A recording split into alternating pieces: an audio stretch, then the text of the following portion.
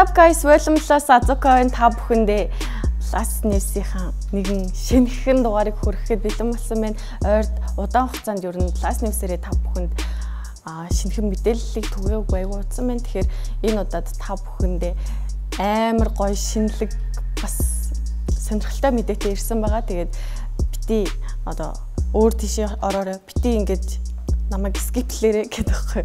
За тэгээд а аимшигын кинонд дуртай бас шимтэн үздэг хэн бүхэнд ингэж сонирхолтой аимшигын богино хэмжээний киног танилцуулах гэж байна. Тэгээд гадаад мадад продакшны анхны уран бүтээл болох Амьсгал гэдэг аимшигын богино хэмжээний киног ингэж бүтээсэн байна. Тэгээд энэ уран бүтээлийг гадаад мадад продакшны үүсгэн байгуулагч Ричард өөрөө зохиолын бичээд өөрөө найруулаад тэрч бүхэл ингэж өөрөө кинонд нь тоглосон гэл бод.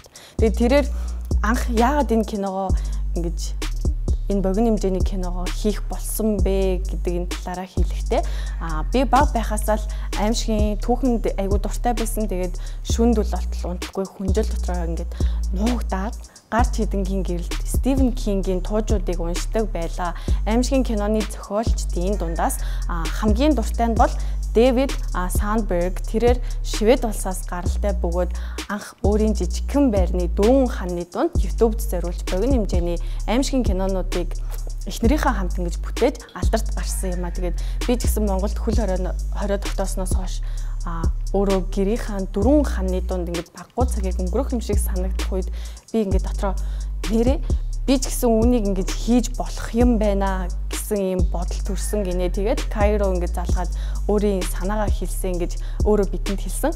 Тэгээд энэ богино хэмжээний аимшигын кино өнөө орой 21 цагаас Sky Media болон Univision-ы 903 дээр суугаад харууллаад Болимлаас телевизээр хүлээн аваарай. Тэгээд бас манай YouTube хуудсанд байрших байгаа шүү. Тэгээд энэ хүү киног үзээд та бүхэн бас өөрсдийнхөө сэтгэл а юунуудыг бидэнтэй хуваалцараа сэтгэлдлүүдийг бидэнтэй хуваалцараа бас харамгүй Магтаалын урмын үгээр хайрлаарай гэж хүсмээрэн. Тэгээд би бас үзсэн л дээ амар таалагдсан.